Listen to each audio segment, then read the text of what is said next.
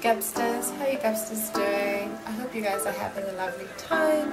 Thank you so much for joining me on another PhD series video. I am just, I love making these videos. Uh, this is the fourth one. Yeah, this is the fourth one. This video was also requested by Nthabie Abie Tabz. How to choose a PhD topic.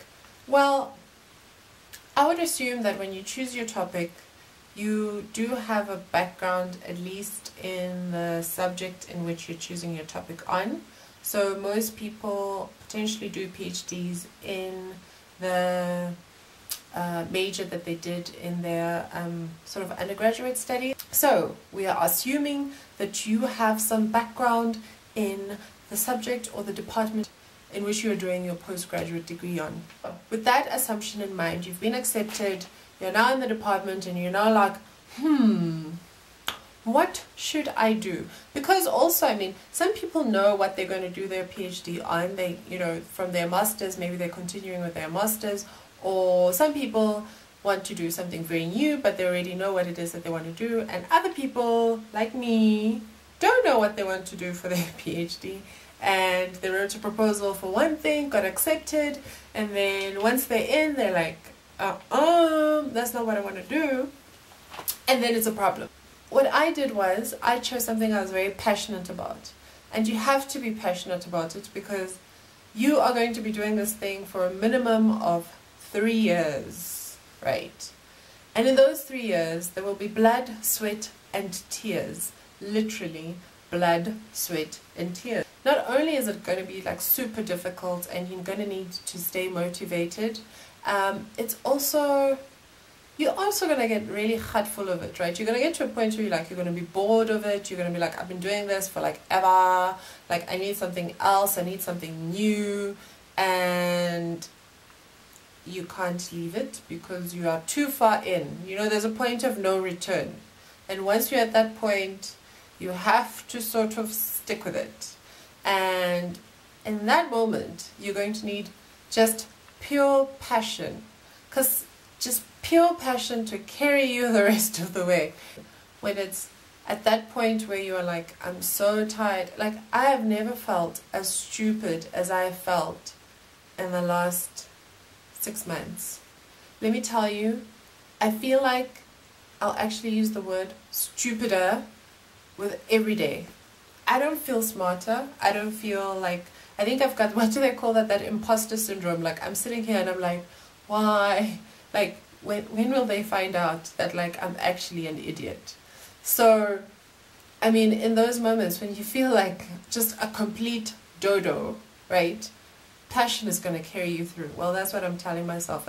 You know, I may not be smart and I may not know what I'm doing, but I sure am passionate passionate. This is what you're going to be known for. Like, particularly your PhD, with your honors and your masters, you can always sort of divert, post that, and do something else. But once you do your PhD, really that's what people are going to know you for. I think the most important thing actually is to be passionate, which is why I'm spending the most time on it. Um, I'll tell you a story about how I actually ended up picking the topic that I picked. Um, so, I love YouTube videos. I fell in love with vlogging about two years ago, in 2014, I watched my first vlog and ever since then I've been like, what is this, right? So I had applied and I put in my proposal and my proposal was on something completely different and um, I started last year with my PhD and I woke up one night, I actually in the middle of the night I woke up and I said, I really want to do social media, I want to do YouTube for my for my PhD and I literally picked up the camera and started my first vlog. My first vlog is like at midnight. Like I look crappy, I look, you know. But that was my first vlog. Like I just decided, because I'd watched my first vlog, uh, I'd watched my first YouTube vlog about six months prior to that and I was still just like, what is this thing, right? So I was like in it and I was like, yes. And I woke up without having really thought about it, without having really done anything about it, I went to my supervisor and I said, the following day, I was supposed to meet her to, to discuss this topic. What am I going to do for my PhD? I went and I met up with her and I said, I want to do YouTube. And she said, What exactly do you want to do with YouTube? And I said, I don't know. And she said, Well, you have to go out, you have to think about it, and you have to come back and give me, you know, give me why is YouTube worthy of studying? I walked away thinking, oh, maybe it's not, you know, maybe it's not worthy of study. Maybe I'm just, you know, being, taking this thing too, you know, maybe I'm not taking my PhD serious enough, right? I, I didn't think that, um, you know, I was like, oh, maybe I'm playing around. YouTube is like, you know, a fun thing, as a hobby thing. How is it pos possibly a matter of study and a matter of serious consideration like a PhD thesis? So, you know, I dropped it. And then I spent the rest of last year trying to figure out what to do. I spent, and this was like, I think my first video was like in March. So I spent from March up until September, October. I tried, I mean, I wrote like two, three different proposals on two or three different topics. I mean, I, at some point I was doing pregnancy and sort of early days of first year post pregnancy. I was doing um, aging.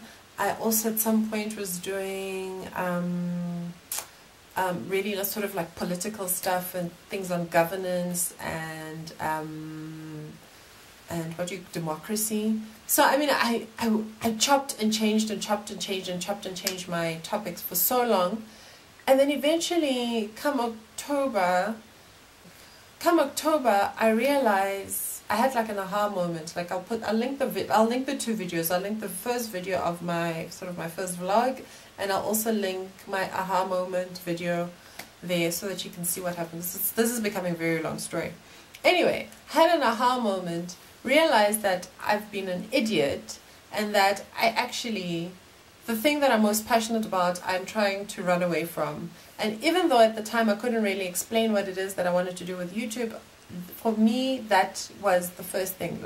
I can't run away from this thing. No matter what I do, this is actually what I really, really want to be doing. So I decided, you know what, let me figure out, let me find a way, let me think this through and go and have a sit down with her and give her valid, logical reasons as to why this was worthy of a study.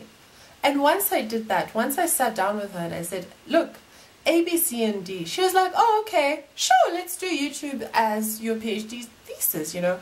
I was the one that wasn't um, convinced of my passion. I, she didn't say anything that any other supervisor would have said, whether they were pro the study or against the study. All she said was, look, you need to figure out why this is worthy of a study, which you have to do anyway for your proposal, right?